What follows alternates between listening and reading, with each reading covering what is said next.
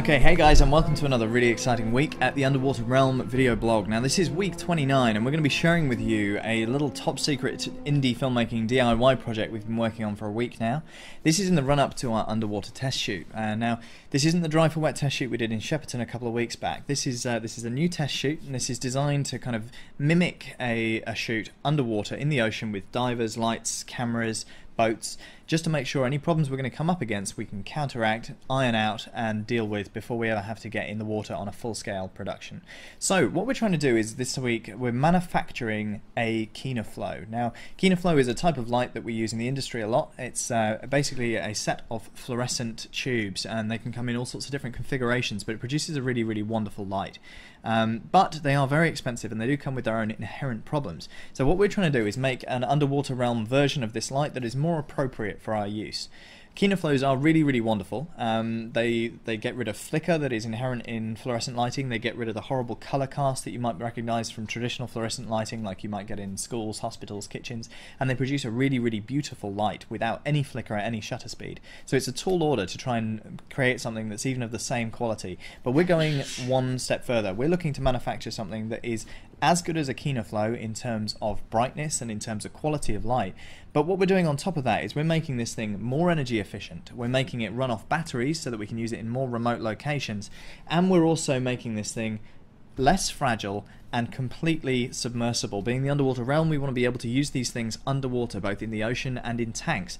And so we're trying to manufacture basically a Kino float or an underwater Kino Flo. And uh, so we've begun a week of really, really intensive research and development. Now, traditional fluorescent lights, they have to go through a couple of things that you might recognize from the home. They have to go through a little starter. They also have to go through a ballast. Now, you might not recognize this beast. This is generally hiding inside a fluorescent light mount, and it's what creates that horrible buzzing sound. And it also, cheap ballasts give off a, a, nasty flicker. So you can only film at certain frame rates before you start to get a horrible kind of wobbling flickering effect. And we don't want any of that. So uh, our research that started with our fluorescent tubing, the same as Kino Flo uses, or very similar to what Kino Flo uses, presents a number of unique problems. Fluorescent tubes inherently are glass, and so they're very fragile. They're also filled with some quite nasty gases, so you don't want to break them. Uh, you can get polycarbonate housings to go on the outside of these to toughen them up, but it's an added expense, and it does lead, well, you've still essentially got a load of nasty gas and a load of glass inside, so if you do smash them, you've contained the problem, but the glass has still broken. You can't use the light anymore. The other problem with these things is because they emit light in 360 degrees, a lot of the time you actually want it all to go in one direction. You're generally pointing a light at something and you want it to be lit. You don't want all the light coming back behind camera. So what you do then is you take a highly reflective piece of material like this, you clip it onto your light, and all that light is kind of caught and bounced back. But that's that's one way to solve the problem, and uh, what we're going to try and do is counteract that problem, because this is kind of a faff. What we've now got is a piece of metal clipped to a piece of glass, which we're going to try and wave around underwater. The other thing is that these, of course, require mains electricity, which you don't generally want to mix with water. It's considered to be a fairly unwise thing to do. So, our research led us to new developments in the world of LED lighting. Now, LEDs you get a whole range of them, and uh, obviously some are bright, some are dim. You get all sorts of different qualities, but we have, after numerous attempts and numerous uh, bits of research, have managed to track down a provider that can import from China and will manufacture LEDs that are as bright as fluorescent tubes, but using half the amount of energy. So what we've done is we've we've sourced these. These are PCBs, printed circuit boards, with 300 tiny little LEDs on them. They also, sadly, are they're designed as replacements for the uh, the T8 fluorescent tubes, so they are running off mains power, but uh, they are, as I say, just as bright. And of course, give you when you mount 300 of them on a board like this, you get a really nice soft light source almost indistinguishable from the sort you'd get from a fluorescent bulb. The advantage, of course, is that there are no LEDs on the back, so all the light is going in one direction. You don't have to faff around with using reflectors. So we take this circuit board, um, and again, after a few days of, of development, we managed to strip out all the unnecessary components in this configuration. And we managed to get these things running off a, quite a high voltage direct current. So rather than an alternating current like you'd use from mains electricity it's a direct current the sort you'd get from a battery. Which means that our battery power plan is now much much easier to achieve because rather than having to go from a bank of batteries through an inverter to create a kind of false mains power through a trip regulator a current regulator into the lights to provide them with illumination, uh, we've actually managed to go directly from battery to LED um, without any steps in between, which is really, really beneficial because it makes it much more efficient. It means there's much less to go wrong. So we've now built a bank of batteries, very similar to this heavy little sod. Um, 12 volts, and it weighs uh, a few kilos there, and uh, just gives you a 12 volt terminal, basically like a miniature car battery. Um, now we've bought a bank of these and we've mounted them inside a Peli case, which again is waterproof, and uh, that's then rigged up in series to provide us with exactly the voltage we've discovered we need to get the most efficient lighting not necessarily the brightest, but the most efficient lighting out of these LED tubes. What we've done is then mounted those LEDs on a piece of aluminium backing to work as a heatsink. We've put a frosted covering over the top of them to make that light even more soft and even. And we've then sourced a load of PVC tubing or PVC pipe, which is very, very flexible.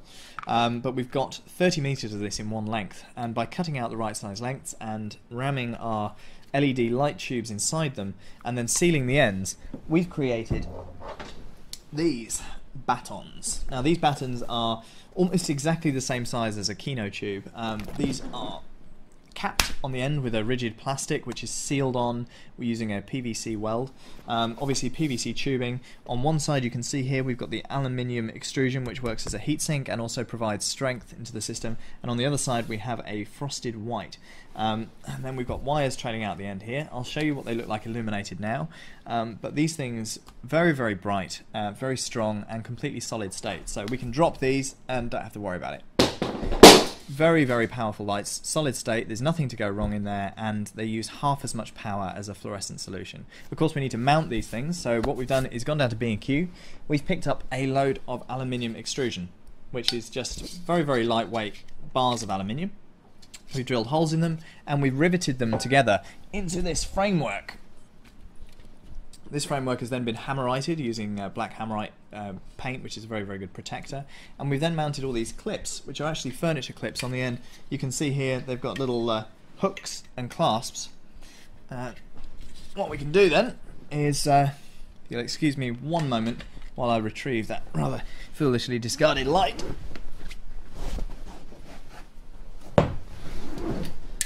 We can then take this uh, light pattern and with a quick push mount it onto our framework. So what we have here is the first part of an 8 bank lighting solution that's going to run off batteries. We've actually manufactured two of these so we're going to have 16 lights in total and our single pack of batteries is going to run this entire system for almost 4 hours. Now we've got two of these battery systems that can be on charge simultaneously.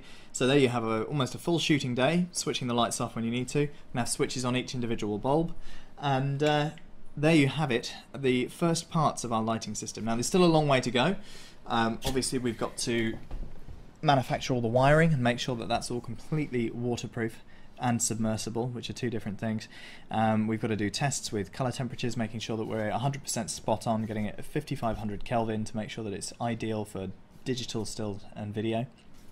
Um, and we've got a little bit more research to do in the uh, the battery department as well, and full testing. But follow us over the next couple of weeks. We're going to be showing you how this system develops We'll show you what it looks like lit up, and we'll show you how far we get towards our underwater lighting test and how these things work underwater. Now, obviously, just because it's underwater, or waterproof, submersible, doesn't mean that it has to be used underwater. The intention is that we're going to be using these things in remote locations as well. We've got a cliff top scene. We don't want to have to get a generator anywhere near up to the top of that cliff because it's actually on a small island.